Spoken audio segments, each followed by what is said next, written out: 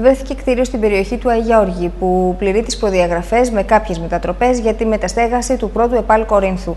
Αυτό που μένει τώρα είναι να μεταβεί εκεί η Επιτροπή από τη δευτεροβάθμια εκπαίδευση και να δώσει την έγκριση για να προχωρήσουν οι διαδικασίες.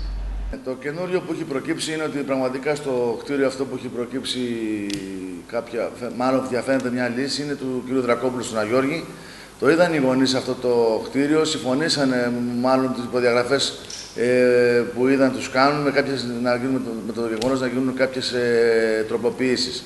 Ε, αυτό που μένει τώρα είναι να μεταβεί μια επιτροπή από τη δευτεροβάθμια εκπαίδευση για να εγκρίνει και σε συνομιλία που έχουμε με τον κύριο Δρακόπουλο θέλει και αυτός να ξέρει σύντομα αν συμφωνούν για να αποβεί στις απαραίτητες ε, τροποποιήσεις. Για να, να είναι σίγουρος ότι θα μπορέσει αύριο να τον νοικιάσει, να μην χαλάσει κάποια λεφτά ο άνθρωπος και δεν καταλήξουν εκεί. Άρα, εκεί, στο, στο, βρισκόμαστε στο σημείο που η Δευτεροβάθμια Επιτροπή να πάει να ελέξει και να προχωρήσουν οι διαδικασίες. Ε, για ποιο κτίριο μιλάμε; Μιλάμε στον Αγιώργη για ένα κτίριο ε, του Δρακόπουλου ε, το οποίο έχει, έχει γύρω στις, αν δεν κάνω λάθος, γύρω στις ε, 23 αίθουσες. Είναι ήδη υπεραρκετό για τα 90% παιδιά περίπου που είναι το ΕΠΑΡ.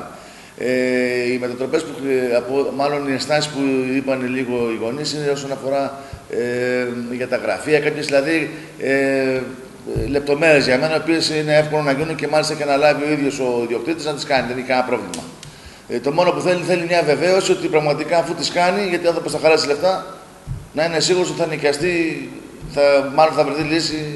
Αλλά επειδή έχουμε πει ήδη στον Ιούλιο, αυτό δεν πρέπει να γίνει λίγο νωρί, ώστε να το Σεπτέμβριο να είναι έτοιμο να ανοίξει σχολεία. Ε, εντάξει, πιστεύω, δεν είναι οι μετατροπές από ό,τι ξέρω, δεν είναι δυσκολίες. Ούτε δεν έχει, όχι, δεν έχει σε δυσκολία μετατροπές.